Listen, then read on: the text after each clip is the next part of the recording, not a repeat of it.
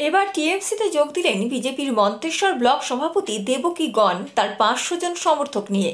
পূর্ব বর্ধমানের মন্তেশ্বর ব্লকের মাঝের গ্রাম বাজারে মন্তেশ্বর ব্লক তৃণমূল ছাত্র পরিষদের উদ্যোগে বাংলাকে অশান্ত করার চক্রান্তের বিরুদ্ধে প্রতিবাদ সভায় মন্ত্রী স্বপন দেবনাথ, দেবকী গণ সহ যোগদানকারীদের হাতে তৃণমূল কংগ্রেসের পতাকা তুলে দেন।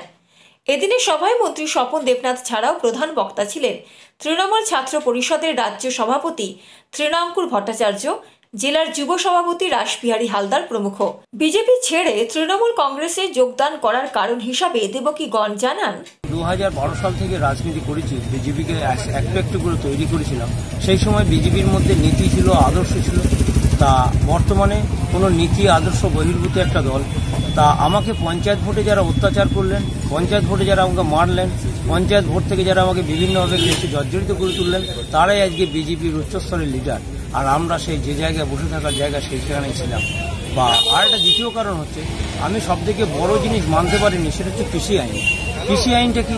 কৃষি আইনে আজকে নাড্ডাজি দেখা যাচ্ছে দিল্লি থেকে এসে বর্ধমান পূর্বে কাটোয়া জেলায় এসে উনি কৃষক সমর্থনের জন্য চাইতে আসছেন। অথচ দিল্লি রোডে রাজপথে লক্ষ লক্ষাধিক লোক আজকে? শীতে শীতে চাষি তারা শীতে বসে আছে তার গায়ে জল বৃষ্টি দিচ্ছেন। আর বর্তমানে আসছেন চাষিদের কাছে সমর্থন দিতে তা এই মতো অবস্থায় এটা মনে হয় যেন আমাদের চাষি বা আমাদের যারা গরিব শ্রেণির মানুষ আছে তাদের পক্ষে একটা ভয়ঙ্কর দিন আসছে। সেই জায়গা থেকে আমি নিজেকে সরিয়ে আনার জন্য এবং মমতা ব্যানার্জির উন্নয়নকে আদর্শ করে আমি তৃণমূল কংগ্রেসের। আপনার নাম? আমার নাম দেবকীনন্দন কর। আপনার কি পদে ছিলেন? আমি ভারতীয় জনতা পার্টি ব্লক সভাপতি ছিলাম। আপনি কতজন সমর্থন নিয়ে যোগদান করলেন? আমি পাঁচশো জন সমর্থন নিয়ে যোগদান We Report, Mobile News 19.